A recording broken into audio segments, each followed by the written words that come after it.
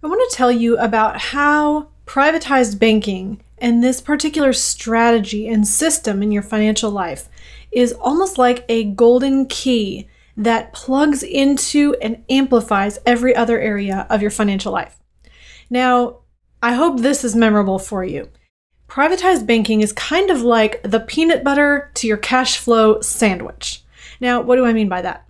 Well, as we talk about this cash flow system in your life, you have this first level of keeping more of the money that you already make. And that's really talking about efficiency and how you reduce things like interest and taxes and opportunity cost and all those outflows that are out of your control. And if we can keep more of them, then we can increase your cash flow from the money you already make. Now, the second stage of your cash flow system is where we help you to protect and really lock down all of the assets and the cash flow that you already create so that you're not at risk of losing it. And that's by putting things like insurance and legal protection in place so that no event can come and steal the wealth that you have already created. Now, in stage three, what we're building on top is this ability to create cash flow from assets.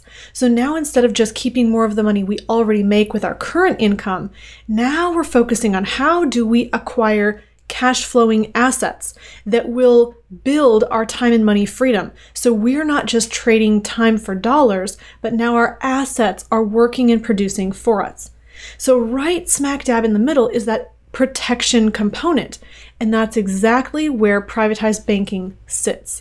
Inside of your cash flow system, privatized banking is a portion of your protection component. But it's much more than that. It's not just protection, it also is like this golden key that plugs into every other area of your cash flow system. It's the peanut butter between keeping more of the money you already make and making more. It's that element in the middle that makes your cash flow more than just two pieces of bread, but an actual peanut butter sandwich. So, why do we want to use privatized banking? It helps you in every other area. One of the ways it does this is by serving as an ideal emergency and opportunity fund. As we talk about savings and having cash available for you to use and access that's safe from risk of loss that's liquid so you can get to it, and that's growing, we want to have a tool that allows us to do that. And there's a lot of challenges with using a typical bank savings account because it's not growing much for you.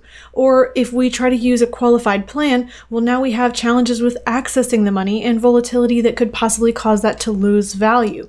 There's many tools that are not ideal to serve as a storage tank for your money as that emergency and opportunity fund. So, using the privatized banking system is an ideal way to have that savings component.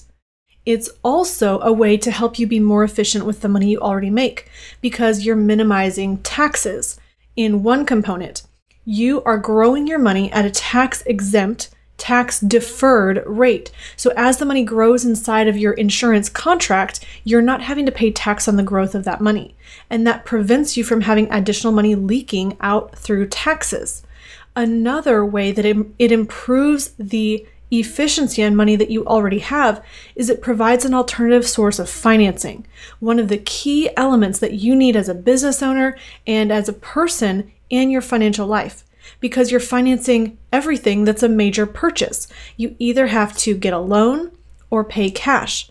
Having cash value in your privatized banking system allows you to minimize the cost and opportunity cost of paying cash or of financing. You also have the ability to not reset the compounding on your money as you do when you pay cash. You can continue to recycle and reuse that money. The way you do this is by accessing your cash value through a loan. That way, you're keeping your cash value intact, allowing it to grow and earn uninterrupted compound interest, being the bank, increasing your cash flow, and shrinking the cost of financing and the cost of using your capital. It also serves a protection element. It's not only an ideal estate transfer tool that can be used along with your estate planning to transfer your assets without losing very much to taxes because it passes to your heirs and that's income tax free to them. The other thing that it does is it protects your human life value. Now, insurance is insurance, and the reason for life insurance is to have that death benefit so that even death cannot prevent you from creating wealth. However, what we're utilizing is the cash value element of the policy, and that's what's giving you all these living benefits outside of just the death benefit. So, then how does it help you increase and make more money and invest in those things that are meaningful and important to you that you know and control?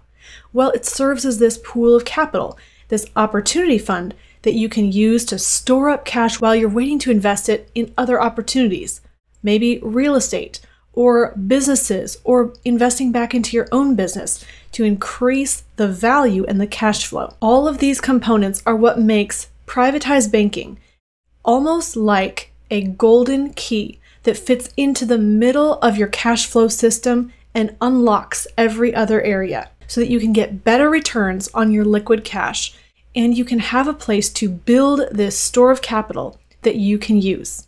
Hey, I hope you liked this video.